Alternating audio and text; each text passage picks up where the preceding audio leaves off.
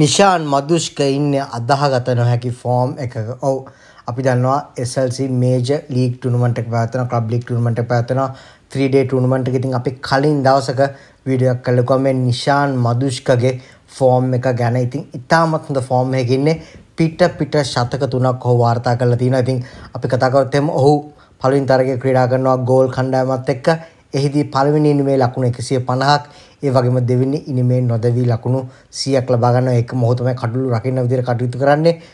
උඩපන්දු දෙකක් සහ ස්ටම්පින් දෙකක් ඔහු ලබා ගන්නවා. ඒකම අද දවසේදී තවත් තරගයක් පැවැත්වෙනවා. මේ තරගය රාගම කණ්ඩායම සහ සෙබස්ටියනයිට් කණ්ඩායම අතර තමයි පැවැත්වෙන්නේ. ඉතින් මේ තරගයේදී පළවෙනි ඉනිමේදී රාගම කණ්ඩායම දින නිමාවට පත්වන්න ලකුණු 329ක් ලබාගෙන සිටියා.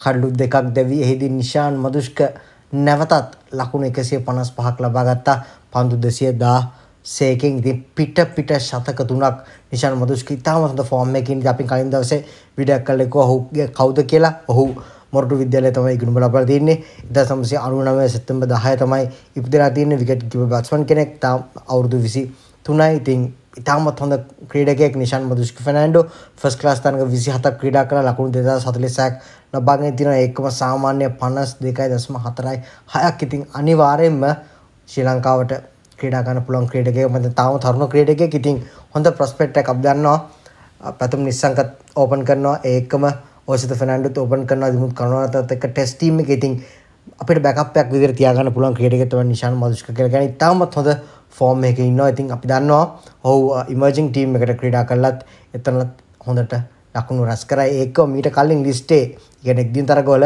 ඔහු රාගම කණ්ඩායමත් කැන්ඩි කණ්ඩායමත් තරගයේදී ලකුණු 108කුත් ලබා ගත්තා. මේ තමයි නිෂාන්ගේ දස්කම්.